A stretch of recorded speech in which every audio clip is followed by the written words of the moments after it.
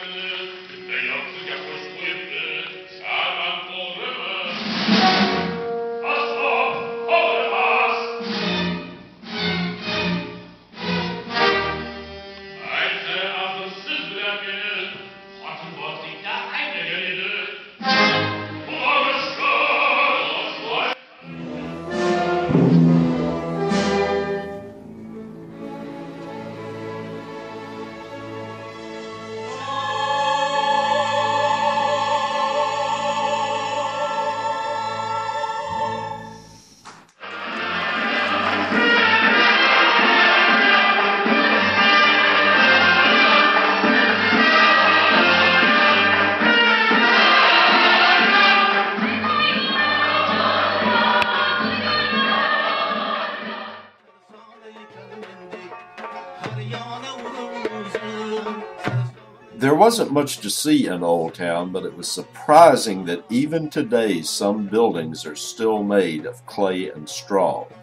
And many of these residences were not hovels either. Behind those clay and straw walls were some fairly nice homes.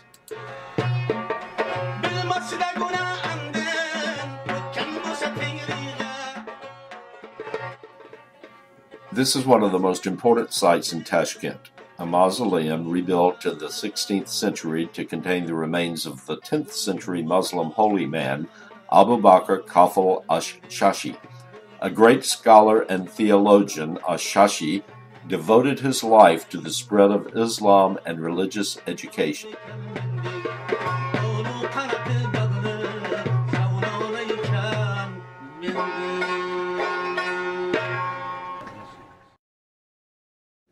The nearby Tilya Sheikh Mosque complex consists of the 19th century Tilya Sheikh Mosque, a museum, and two madrasas. The most important building in the complex is the Mui Mubarak Madrasa, which contains the oldest existing copy of the Quran dating back to the 7th century. Photography was not allowed, but as with almost everything else, you can always find photos online. Hair supposedly from Muhammad's head is also kept here, and the name of the building, in fact, means sacred hair.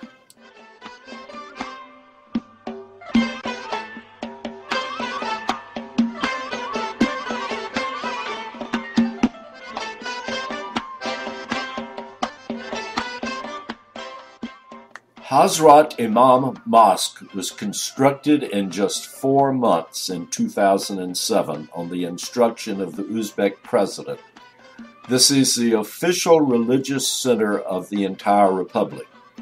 Fronted by two 50 meter tall minarets, the mosque is Tashkent's largest place of worship.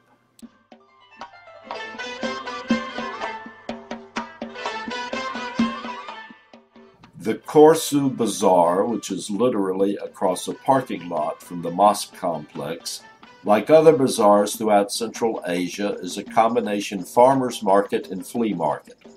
A lot of the food there really looked good, but we didn't dare try anything other than candies and bread.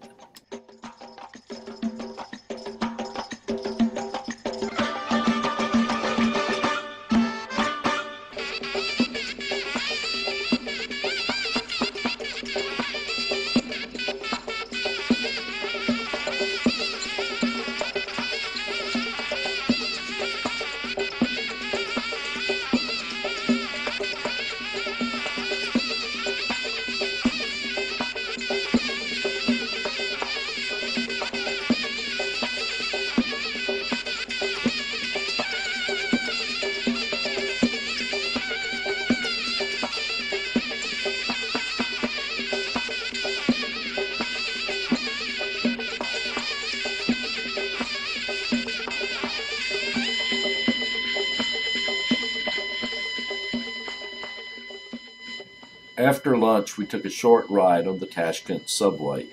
Like other Soviet built subways, the stations are very ornate. Again, for security reasons, photography was not allowed. But, like I said earlier, you can find anything online, and I wanted to provide some kind of idea of what it was like.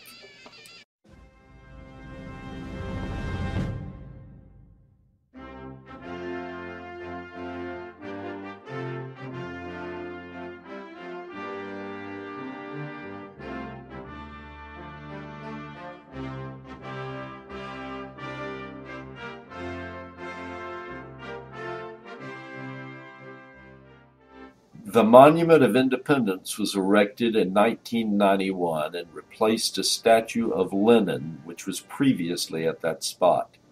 At the top of the statue, marking the sovereignty of Uzbekistan, is a large golden globe with outlines of the territorial borders of the country.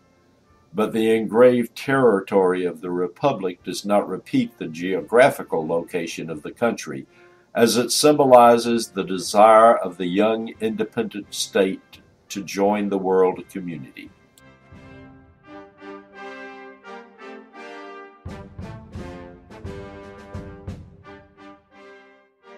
This is a memorial at the Square of Memory dedicated to those Uzbekis who did not return from World War II.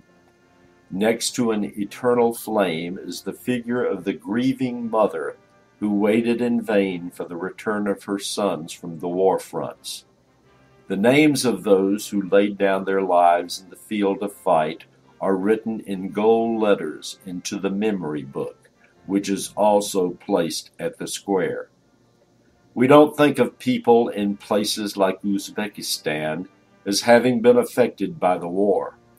But more than 300,000 Uzbeki soldiers perished in combat while serving in the Soviet army.